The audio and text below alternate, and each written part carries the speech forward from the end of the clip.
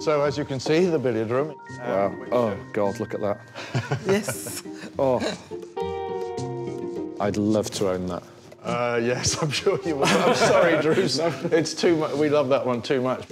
It's instantly one of my favourite interiors. It's slightly bonkers. They've got leather furniture with punk memorabilia and modern art. It's a really cool house, actually. I really like it. Drew was hoping to find British-made quality items, and this house is brimming with buying potential. Well, what about this chair here? Would you consider selling this? For me, yes. Can I have a look? Yeah, sure. Have a look, look. Yeah, have a look. yeah, absolutely do. Oh, love the colour. Just a great big size as well, isn't Yeah. it? It's a whopper. What is it, 40s?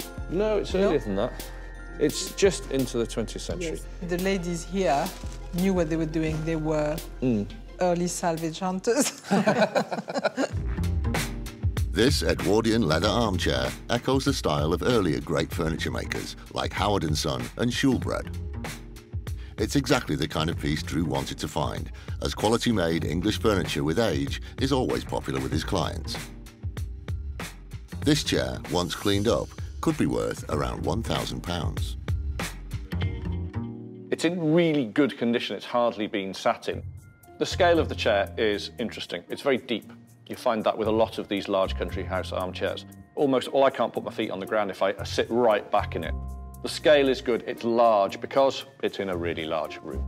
I like to buy particularly the late 19th century into early 20th century. They are the most comfortable and they have basically the most profit in them for me as well.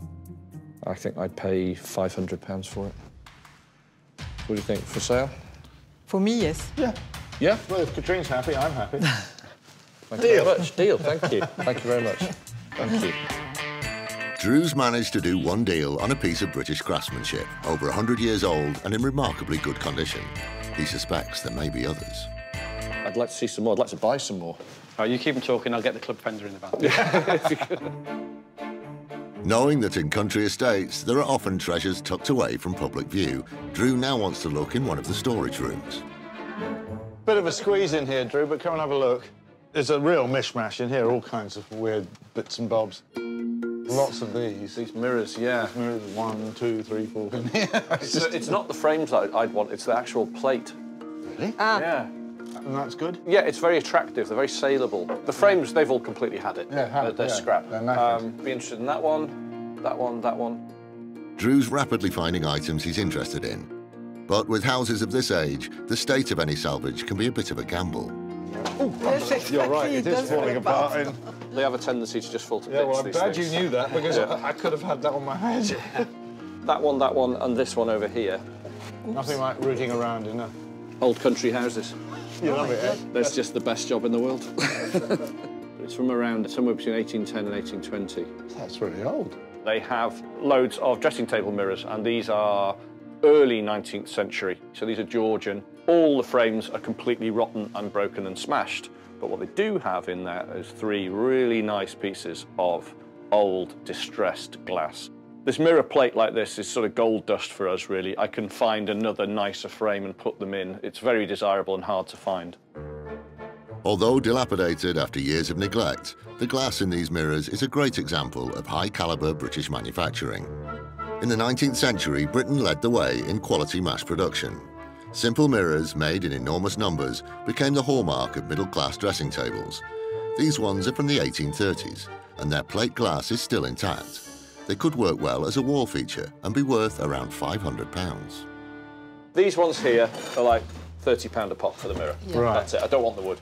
This one looks a bit better. Price-wise, in that state, 100 quid maximum. I'll take it on as a project. We might try and fix it. Okay, cool. I think. Yeah.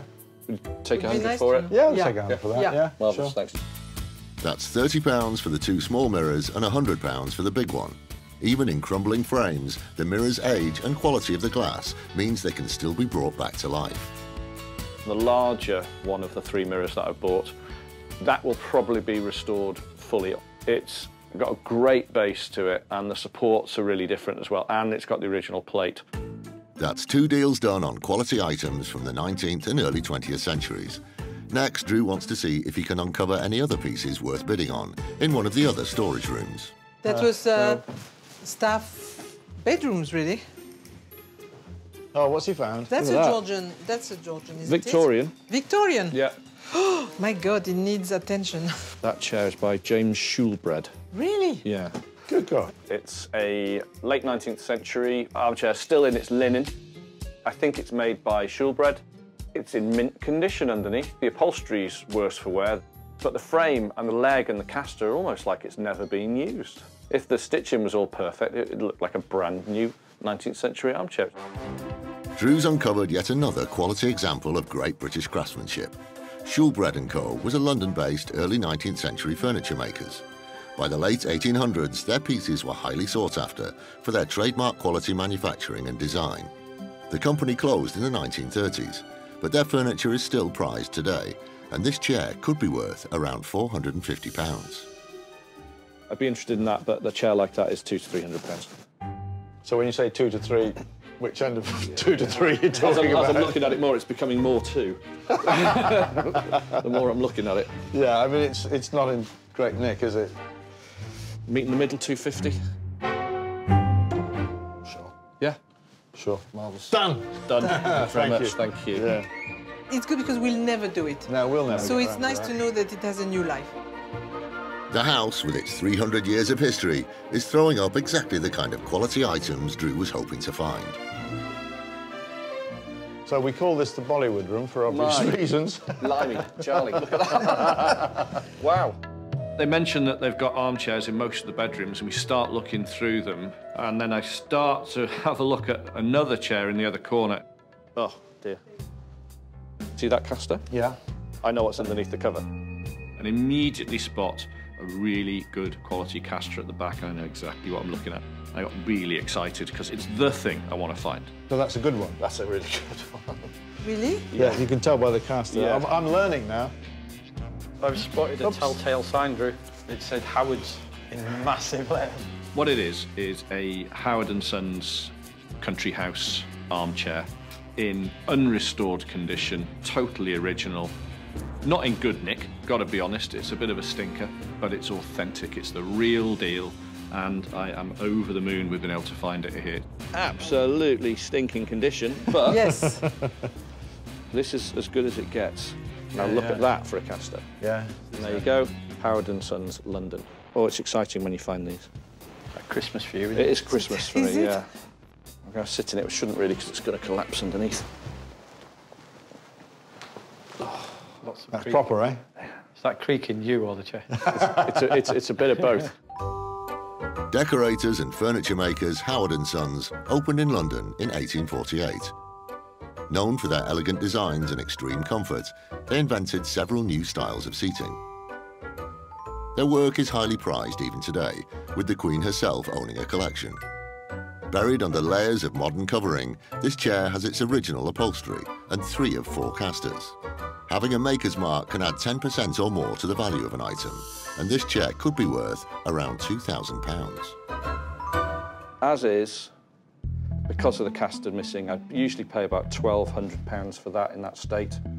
Uh, uh, 800 for that. So 800. We could do that deal. Fab. That's what I wanted to find. My mantra has always been if there's three things wrong with something, you really should walk away. With these, it's different because there's such a following. They're very expensive when they're finished. They're very difficult to get hold of, and they don't come on the open market very often. It it is really as good as it gets. Today was better than expected. I bought really well. I just got lucky. Absolutely loved dealing with Hugh and Katrine. Lovely people, they're such fun. It's always interesting, things that you take for granted and that you're used to, you know, you suddenly see them in a new light. Suddenly makes us realize that everything well made by craftsmen of the 19th, 20th century is worth something, really.